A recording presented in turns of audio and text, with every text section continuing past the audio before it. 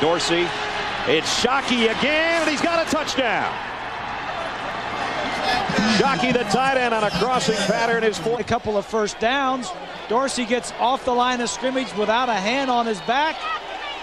That's a perfect throw. Every defensive category in the nation, this is a good defensive team and a very six. Dorsey fires complete.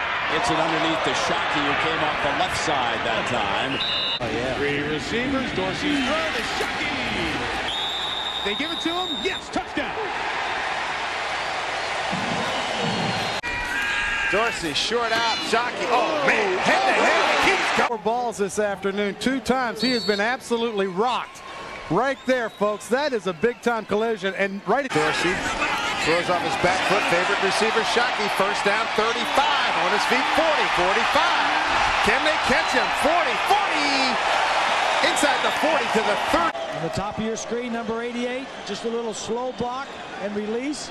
This is nice right here. He breaks the tackle of Branch and gets into the end zone. Three-step drop. Wide open. Sideline. Jeremy Shockey's got it. There goes Shockey. 30.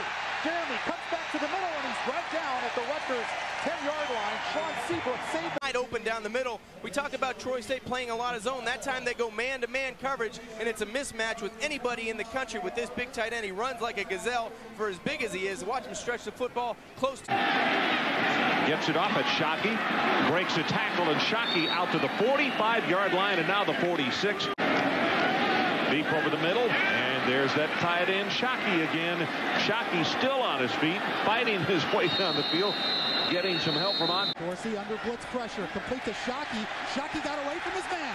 Jeremy Shockey down the sideline, still going.